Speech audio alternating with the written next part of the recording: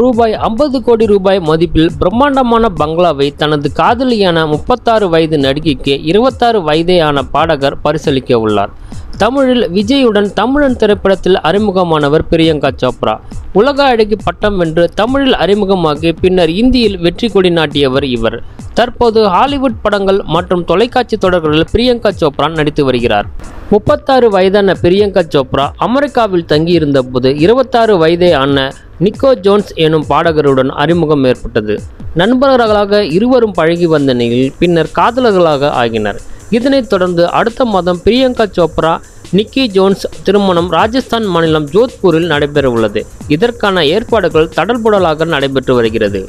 திருமண பரிசாக பிரியங்கா சோப்ராவுக்கு தனது கணவர் நிக்கி ஜோன்ஸுக்கு எதை வழங்கப் போகிறார் என்பது எதிர்பார்ப்பு எழுந்துள்ளது. இந்த நிலையில் நிக்கி ஜோன்ஸ் தனது காதல் மனைவிக்கு சுமார் ஐம்பது கோடி ரூபாய் மதிப்பிலான சொகுசு பங்களாவை பரிசாக அளிக்க உள்ளார். அமெரிக்காவின் பெவர்லி ஹில்ஸ் பகுதியில் சுமார் நாலாயிரம் சதுர அடி பரப்பளவில் அமைந்துள்ள சொகுசு பங்களாவில் தான் திருமணத்திற்கு பிறகு பிரியங்கா சோப்ராவும் நிக்கி ஜோன்ஸும் குடியேற உள்ளனர்.